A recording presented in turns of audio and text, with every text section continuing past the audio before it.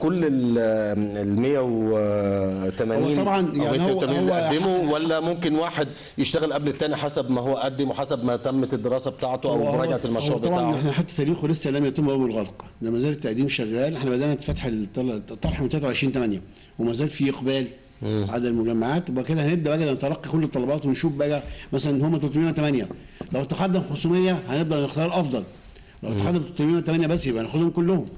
ويبدأ بقى نحط لا وهيبقى كمان عندك في ناس ممكن تكون عايزة أكتر من وارد وحده وارد. زي ما اشرت. وحدتين ثلاثة أربعة حسب طبيعة المشروع في العدد. فنبدا بقى نحطهم قطاعات. يتحطوا قطاع غذائي هيبقى مع بعضه. قطاع هندسي مع بعضه. كيميائي مع بعضه. حطوا قطاعات. بس ما فيش كوتا يعني مش معنى 308 لا، مش- يتقسموا على لا، خمسة. لا، لا، آه يعني لا، ممكن حسب- نسبة ال حسب الإقبال. يعني مثلا ممكن تلاقي الصناعات الغذائيه مثلا هو تاخد نص ال وارد أو 308 الهندسي. ياخد بس النسبة عالية حسب الأفكار اللي جاية من الشباب يعني. نعم.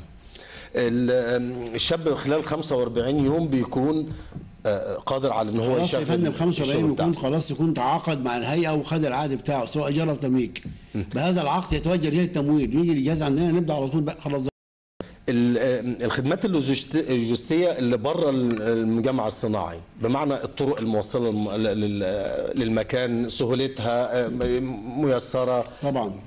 طرق كاملة وشبكة مرافق كاملة ومحطة صرف صحي صناعية كاملة بتغطي المنطقة بالكامل. شبكة مية بتغذي المنطقة مجمع صناعات من الالف للياء مش ناقصة أي شيء. مكتمل يعني وسهل الوصول ليها آه سواء بالظبط 3 كيلو من الطريق الزراعي بتاع بتاع نصر النوبة. يعني تخش كده على طول 3 كيلو تبقى في ديان الشباك ديان الشباك يعني هي طبعا سنتر تبعد عن أسوان 70 كيلو وعن ادفو 60 كيلو وعن كومومبو 30 كيلو وعن ادفو عن دراو 25 كيلو. فهي center اللي إيه أقرب موقع استراتيجي آه أقرب يعني. الناس المجمع هم إيه؟ نصر النوبة. الأقرب دراو الأقرب كومومبو. طبعا آه، طبعا هي م- يعني هي مش قاصرة على لا لا على كل الناس طبعا على حد طبعا. يعني طبعا أي- معين أي شاب يعني. صاحب فكرة يتقدم. طبعا أنا ممكن كمان في ناس تاني مش واخدة بالها. أنا عندي مشروع صناعي قائم وعندي معوق يعوق استصدار الرخصة. ان يبان على املاك دولة أو أرض بريه مثلا بقى في الأحوزة العمرانية الخارجية. فأنا ممكن انتقل بمعادات وأروح المجمع وأوفق أوضاعي. ما أنا ده أنا مهدد بالغلق. من الحماية المدنية من الأمن الصناعي ده أنا مش مطابق المواصفات ما عنديش رخصة ومش هاخدها لأن عندي مشكلة ملهاش حل. فانتقل بمعداتي وأروح مجمع الصناعات وأقعد هناك. مأمن نفسي وآخد تصاريحي وتراخيصي وفي مكان. آه، مناسب ربما يكون أفضل من المكان اللي أنا فيه. طبعا طبعا طبعا أفضل بكتير. مفيش الكهرباء ما تنقطعش صرف صحي مش موجود في معظم المشروع بتاعتنا. مدخل مية طبعا الحماية المدنية كاملة بتغطي المجمع بالكامل. فانت هتحط معدتك وتشتغل فبرضه ده, ده نسبة من نسب نسبة مستهدفة.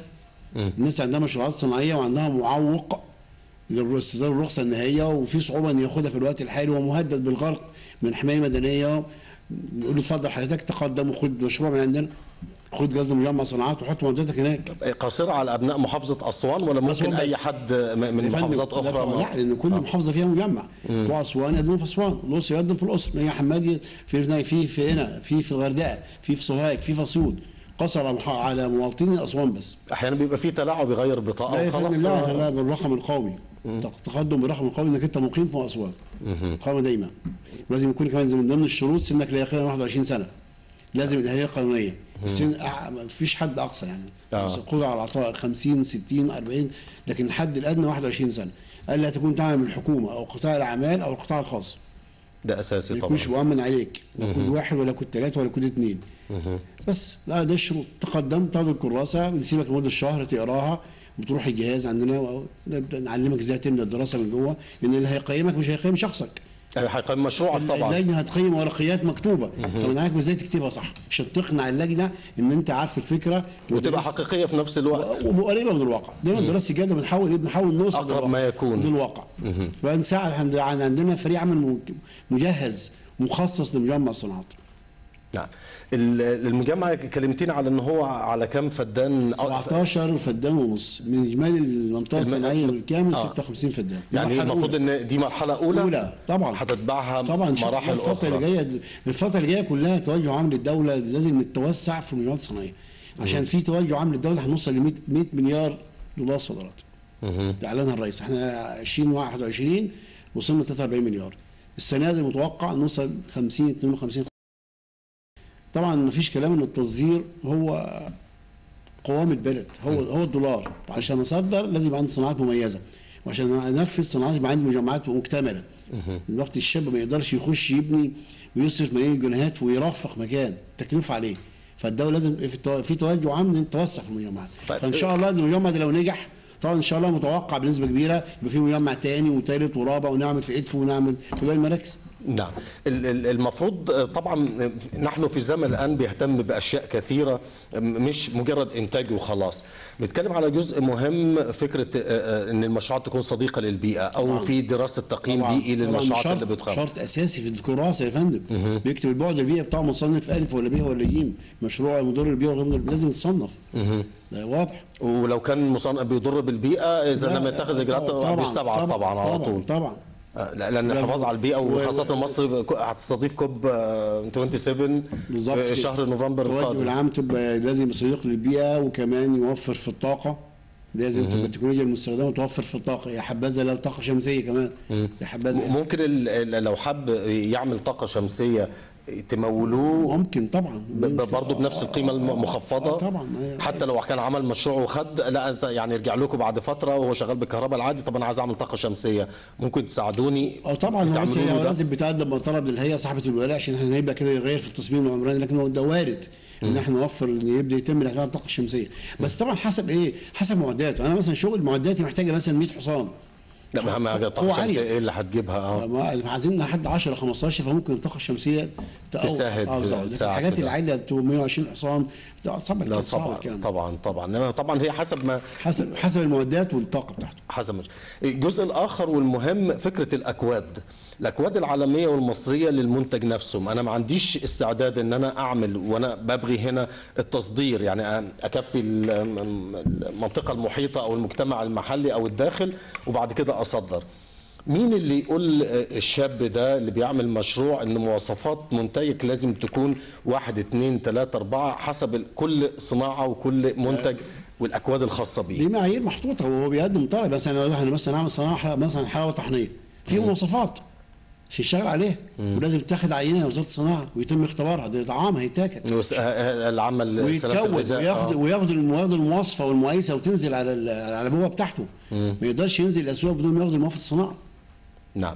والحاجات اللي ممكن اصدرها بالتالي لازم برضو تكون ليها في إحنا بندي دورات تدريبية على التصدير. جهاز بيخت... يعني دي إحنا بنسموها إيه؟ التدريب ما بعد المنح بقى. إحنا عندنا تدريب قبل المنح وأثناء المنح وبعد المنح. بعد المنح يعني ما بعد تشتغل، المنح بقى بتدوا له بنبدا فلوس بقى. نعلمه إزاي بقى يصدر وياخد الباركود ويعمل الباركود للمنتج بتاعه ويبدأ يفكر في التصدير ونعمل له تشبيك وعلاقات مع مكاتب التصدير والشركات ويعرف احتياجات الاتحاد الأوروبي بيحتاج إيه آسيا بتحتاج إيه فطبعا دي تنميه وأس... وأساسها إن المواصفات تكون مواصفات آه، يعني ما هي- بس هي عالميه هي محطوطة هو بس بيلتزم بيها. كل دولة كل دولة ليها مواصفات أوروبا ليها مواصفات بيلتزم بيها.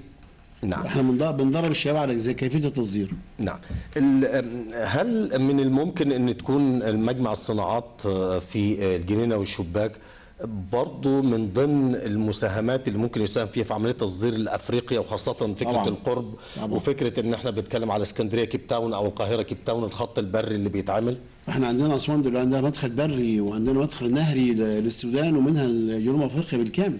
نخش بقى على إثيوبيا والصومال فأسوان فيها ميزة قريبة من من أفريقيا من تحت. وبرضه ممكن نتكلم عليها على فكرة الاحتياجات احتياجات يعني مش طبعاً. المنطقة المحلية وممكن احتياجات أفريقيا إيه طبعا. وده ودي دراسات بتعمل دلوقتي الاحتياجات إن أفريقيا لازم نبدأ نغطي السوق المحلي أنا اغطي السوق المحلي بتاعي وأفكر بعد كده أنا إيه في بس. يبقى عنده النظرة أو الطموح إن هو. في يوم من الأيام عايز يعمل ما ده كذا إحنا بنعلمه الشباب وأنت بتفكر في فكرة المشروع يبقى عندك ثلاث معايير. المشروع يولد عشان ينجح يعني يمتلك مقومات النجاح. وبعدين يستمر فترة طويلة وبعدين يتوسع. وأنت بتختار بقى مشروعك فكر هذا مش أنا إن أنا أفكر في مشروع ليه مقومات النجاح. طبعا طبقا لدراسه الجدوى وفي المقام الأول التسويق وتحتيها ألف شرط. أي ما دام هتنتج ابحث عن السوق بتاعك. شوف اخباره إيه. هتخشه إزاي وتستحوذ على كم منه. بعدين استمر في السوق فترة طويلة. ما النهارده ما ينفعش افتح النهارده واصرف ملايين وبعد كده اغلق بكرة أو سنتين واقفل. ده في خسائر. ما. ينفعش الانسحاب. فمن كل ده بنعلمه له في, التدريب. وبتدوا له دعم في آه، نفس. الوقت يعني بعد وفي كده. متابعة كمان. أنا بتابع وعامل عمليه تقييم بعد ما بعد المنح. بنبص بقى نقطة التعادل وصل لها ولا لسه. في منتهى الأهمية. لازم يوصل نقطة التعادل في الشهر الثالث أو الرابع. لازم ايراداته تغطي مصروفاته. لو اتأخر اتأخرت ليه؟ في انحراف عن دراسه الجدوى. في مشكلة في تكلفه المنتج عالية نغطيها نخفضها. هل المبيعات قليلة؟ هل في فاقد؟ هل في هدر؟ كل ده بيدرس ونبقى عمليه الت- التوجيه عشان يلحق يوصل نقطة التعادل عشان المشروع ما يتكلش ياكل نفسه. ما أنا لو استمريت ايرادي سبعة ومصروفاتي 10 هاكل راس المال. طبعا. فلازم الايراد يزيد عن المصروف. فأول نقطة لازم أول يوصل لها إن هم يتعادلوا مع بعض. فإحنا بنتابع النقطة دي. نخلي المتابعين بتوعنا. سؤال نفسي آه، يعني أعرف له إجابة يعني من زمان. طبعا عندكم قاعدة بيانات قديمة من ساعة إنشاء المشروع. نسبة الفتيات في محافظة أسوان للتقديم. في المشروعات؟ عالي يعني كم كم كم في يعني المية في من الرجالة في تقريبا؟ في المتناهي 45% تقريبا أو 47% 47% المتناهي وفي الصغير 25% بس ولكن لا تاني كده المتناهي المتناهي من 45 اللي هو الصغير خالص اللي هو يعني. مثلا بيبدأ من أول آه، 1000 لحد 25 30 ده آه المتناهي. ده 47% آه الصغير والصغير؟ 25% خم- ولكن ربع. برضه آه طبعا نسبة عالية. المتوسط، آه, آه، آه. لا المتوسط لسه ما دخلش أسوان. آه. لسه بعد 30 مب- مليون. لا. بيعدي كام؟ لسه ما دخلش أسوان آه بيعدي كام عشان أعرف؟ 30 مليون. 30 مليون وطالع. 30 50 ده اسمه متوسط ده اسمه متوسط. لسه عندنا إحنا إيه ما زلنا لحد 15 مليون اخرنا. يعني يعني آخر حاجة عندنا إحنا 5 مليون. يعني لسه ما فيش الناس- 5 مليون داخل في الصغير. صغير آه طبعا. آه. آه صغير. من كام لكام هو؟ ما من ثلاثة؟ هو طبعا ال- ال- اللي بيحدد صغير أو متناهي هو طبيعة المشروع لا لا القانون 152 لا، 152 عشان عندنا مشروع حديث وعندنا مشروع قائم. المشروع الحديث اللي هو مع يعني عمره أقل من سنتين طبقا لإيه؟ بتاريخ المزاولة. ده حديث. ده حديث. سنتين ويوم أصبح قائم. الحديث ده زي زي فرق بين المتناهي والصغير والمتوسط من رأس المال. اللي رأس المال أقل من 50000 يتصنف متناهي. أقل من 50 من 51 لمليون ده صغير. من مليون وثلاثة ده متوسط. المشروع القائم. زي فرق بين المتناهي والصغير والمتوسط حسب حجم الأعمال أو المبيعات. لو أنا مبيعاتي السنوية مليون يبقى أنا متناهي. من مليون لحد 50 يبقى أنا بقى مشروع صغير. لو مبيعاتي من 50 ل 200 مليون يبقى أنا متوسط. يعني ده, ده من ناحية المبيعات وناحية ال- بالظبط. التكلفة آه. يعني كل راس المال بيحدد المشروع الحديث. وحجم المبيعات بيحدد المشروع قول 152 حسب هذا الجدل دلوقتي. نعم. فدلوقتي فنسبة ال- المرأة عندنا المرأة جدا خمسة في الصغير ومتناهي الصغر آه، 47. عندنا أفكار جميلة وشغالة بنات بنات شغالة ما شاء الله عليهم حاجة جميلة قوي. وإحنا وليهم فرصة في المجمع الصناعي ولا طبعا ليهم فرصة كبيرة وفي اقبال والله ما شاء الله كويس قوي من الوزاره يعني نسبه المقدمين في في ال 180 عالية مثلا يتعدوا مثلا 55 واحد سيده ففي إقبال. آه، بس طبعا زي إحنا عارفين في الصعيد بتبقى ست المشروع باسمها بس هي مش بتدير. بيدير الزوج أو الأخ أو الأب هي بتعمل آه، آه ب- بالقرض ب- باسمها. وطبعا اللي بيدير الزوج أو برضه في الصعيد الست إيه؟ يعني بس ولكن عشان في عملية الاحتكاك آه، والتعامل في برضه المباشر. نسبه مثلا 3 4% بتدير بنفسها.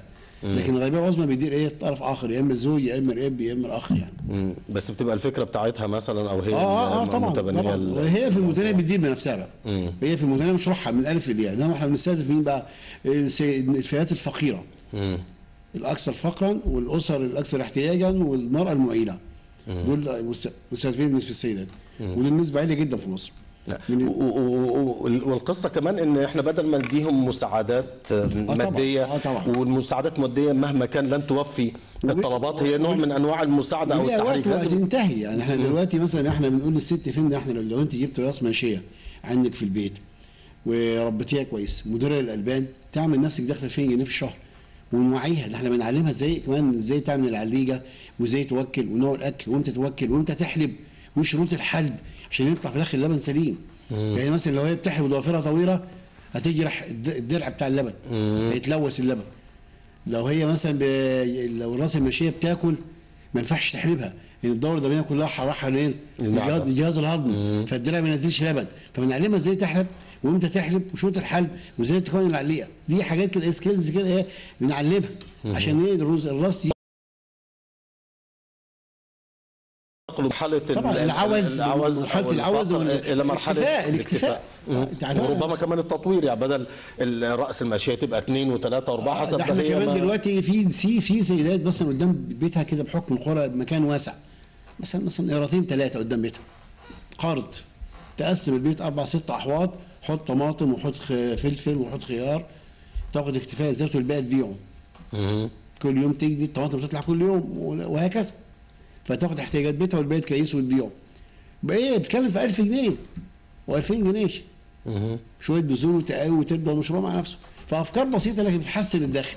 بدل ما انتظر بقى معونة من ده ومنحة من ده ومعاش من ده أنا ممكن اوصل نفسي 2000 و3000 و4000 وأطور وأزود. طبعاً وحتى لما أبقى قدوة للأولاد عندي يعني طبعا كأم دايما الام هي القدوة. بيقول لك إيه ابنك حسب ما يراك. وليس كما تريد. هو شايفك إزاي؟ مش انت عاوزه إزاي؟ فهو هي قدوة للي حواليها. النهارده ممكن ست مسنة آه، 50 سنة. ممكن تجيب مثلا بسكوت وتبيعه قدام مدرسة وت- وتكسب كرتونتين كده شيبسي وتروح. حاجة بسيطة ممكن ب 1000 جنيه تحسن دخلها. وطبعا بقى عندنا مشروعات عندنا البط وعندنا الفراخ وعندنا الرؤوس الماشيه وعندنا كم. المبالغ اللي, طالعة من لمحافظة أسوان؟ إحنا مستهدفنا؟ السنة دي مستهدفنا السنة دي على مستوى أسوان 20 22 200 مليون متناهي. 200 مليون. و70 مليون. جنيه صغير. ده المساعدة بتاعنا. إحنا طبعا آه، اللي طلع قبل كده طبعا مبالغ عندنا مليار مليارات و800 مم. أكتر من مليار و800 ممنوع مشروعات صغيره وجزء منها برضه في حياة كريمة أو كان فكرة آم، آه، البنية الأساسية طبعا ده يعني ده ما كانش آه، القصة مش. قصة آه، بس. لا إحنا آه. مثلا من 2013 ل 2016 صافين حوالي 63 مليون جنيه. طرق وكباري وتطوير مدارس ومراكز شباب وترع و- وحدائق وتكسير- تبطين ترع. وتكسير ترع تقريبا يعني.